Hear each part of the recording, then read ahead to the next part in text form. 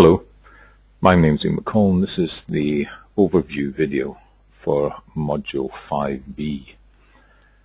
Uh, looking at melanoma, other malignant tumors, surgical complications, and the histology of benign pigmented lesions in nevi.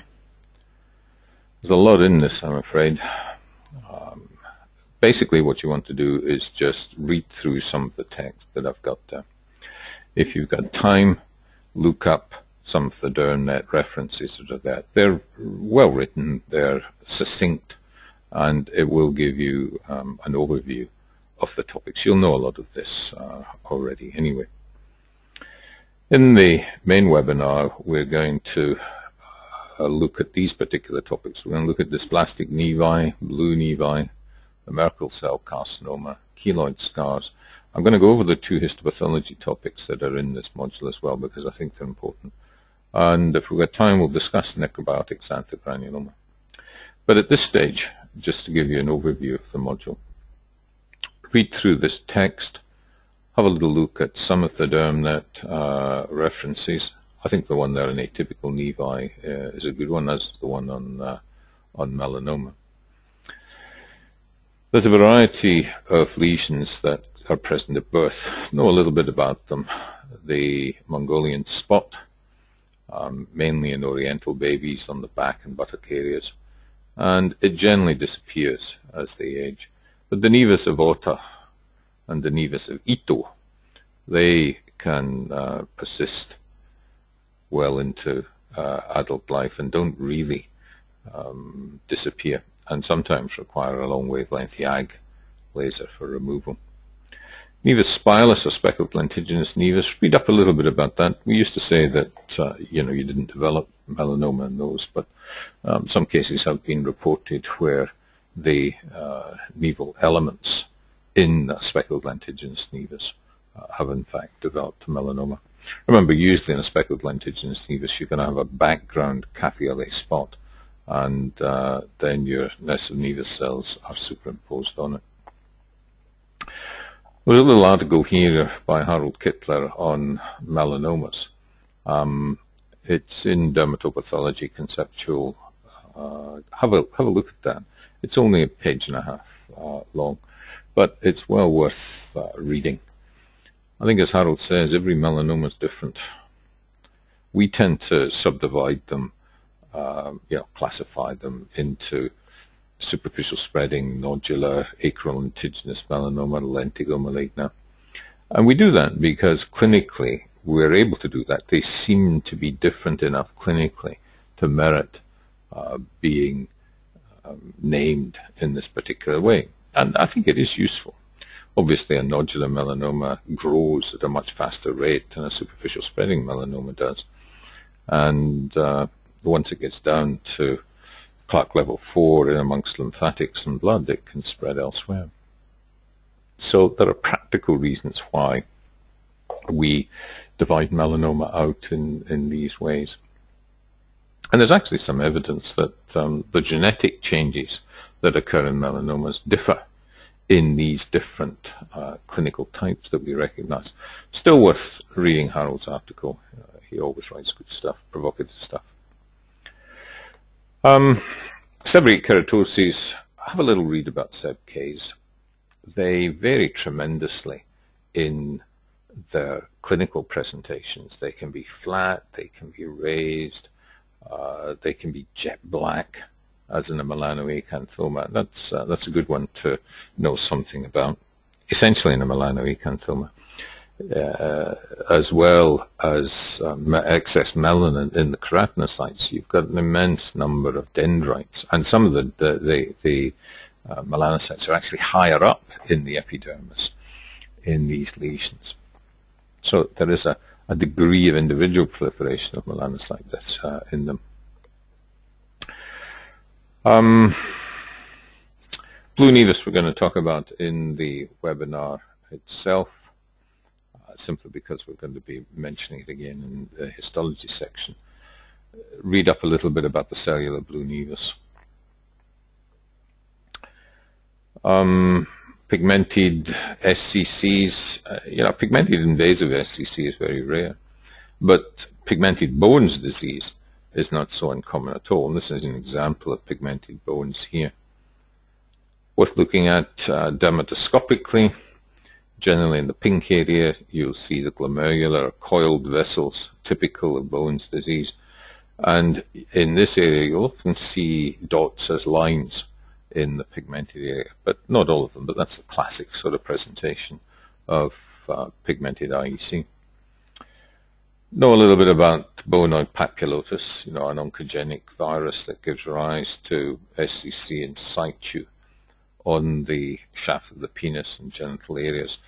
The lesions may look very seborrheic keratosis-like. Now, it's only when you shave one and do the histology that you recognize that it is an oncogenic virus-induced uh, SCC in situ. Dermatofibromas, uh, we recognize them fairly easily clinically. Dermatoscopically, it's much more difficult. Um, but we'll, we'll deal with the, the dermatoscopy of dermatofibromas later. Um, there's a few malignant tumors of the skin that we're obviously going to come across later on in this course, but I just introduced them here. The dermatofibrosarcoma protuberans, the main thing you've got to understand with this is that it's slow growing and you need to take very wide margins on it if you're going to try and cut it out without more surgery. And by very wide, I mean somewhere between two and three centimeter margins on some of them because they can extend a lot wider than you, you think. The idea is to diagnose them early. You can get away with narrower margins there. Um, the Merkel cell carcinoma we're going to deal with in the webinar, particularly immunosuppressed patients, has a variety of morphologies, but it's a lethal tumor now. And we'll discuss the present uh, views on management and a little bit on the polyomavirus that's associated with it. Cutaneous metastases, always got to keep them in the back of your mind when you're examining an unusual tumor in the skin. Have a little read on that. T and B cell lymphomas will come to in various areas of this uh, course. Again, this is just a, a short uh, comment on them. Paget's and extramammary Paget's. Again, an important tumor to, to recognize. So have a little look at DermNet there and also do and cutaneous metastases just to get that background information that you need. As I say, is very useful for this uh, because it has everything usually in a tabulated form, has the main things there without uh, a whole lot of uh, extra material that you don't need. The typical fibroxanthoma you're going to come across, it, it behaves like a poorly differentiated SCC, so you handle it in the same way um, basically take it out with five, a minimum of five millimeter margins. Problem is they typically occur on the scalp and uh, or on the head and neck of the elderly, and uh, they can be really quite vicious in the scalp, difficult to get rid of. May need follow-up radiotherapy if you don't cut them out fully. Uh, yeah, Kaposi's we're not seeing as much of that nowadays that uh, people are on the highly active antiretroviral therapy, but uh, worthwhile just doing a little look in there about the different types of uh, Kaposi's, the ones that are associated with immunosuppressed patients, the ones that are associated with people with an adequate immune, uh, immune system. I think they're all, I think it's herpes type 8 virus that they're all recognized as being derived from that now, both, both types. But of course, if you don't have a decent immune system, they tend to be a, a lot more proliferative uh, in immunosuppressed patients. Little section on surgical complications. It's really hemorrhage and infection.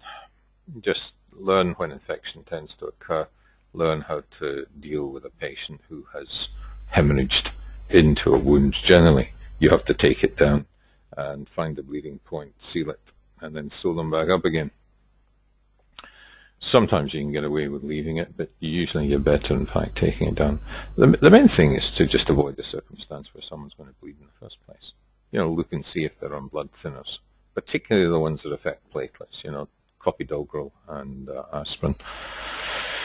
Um, usually warfarin isn't as big a, a problem, but uh, the other two can be.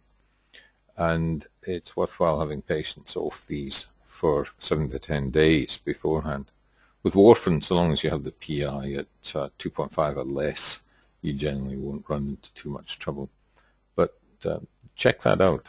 um, especially if you're going to be doing surgery around the eye or other areas where bleeding is going to be a considerable problem. Uh, what else do we have? We're going to talk a little bit about keloid scarring because it's something you want to avoid and it's usually a, a good exam question as well. There are two detailed lectures there by Stewie Salasche on surgical complications. I think they're both about 45 minutes each. And he'll go into everything there in a lot of detail if you get time to look at it. Um, in the surgical diploma course, part of which this is taken from, we also mention some of Rob Paver's videos. If you don't have Rob's book, you should get it. Uh, that's an excellent series of videos there that are worth looking at. These are the ones that we recommend for this, uh, this section. Uh, a little thing here on excisions in the back, uh, how to to align them. I think it really depends on the lesion rather than anything else. And remember layered closures for these or else they'll split. Don't bother with um, these various uh, articles here. They're just references for you to uh, look at in e-medicine should you, should you wish to. Then there's the dermatopathology topics in this module.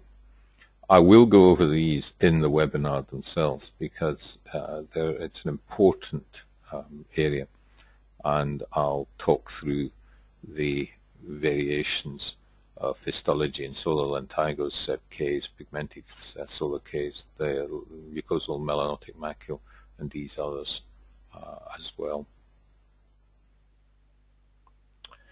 The other histopath topic I think is on um, benign melanocytic nevi. And we will go into the histopathology of, uh, of that as well. Just to get your eye in. It's fairly basic histopathology, but it's important to get your eye in for, for this when you're looking at histo slides. The tutorial topic was going to be necrobiotic xanthogranuloma. Now, this is an unusual and a fairly rare uh, condition. A lot of them present with periocular problems. A lot of them have an underlying uh, myeloma or, uh, or abnormal paraprotein. And it's an important condition to pick up. It does have some skin features. We'll try and show some examples of those. I doubt that I'll deal with pemphigus vegetans in the webinar, but uh, have a little read up of it as well. If I find some good clinical cases, I'll give you a reference uh, to them in this section. I'll get that done later today. Okay, that's a quick overview. The things that I think you should concentrate on in this particular uh, module. There's a lot in it. Just read through the basic text that's there just to get a feel for it. If you've got a time, have a quick look at some of the DermNet uh, references and we'll deal with these particular topics in the webinar on Monday night. Thank you very much.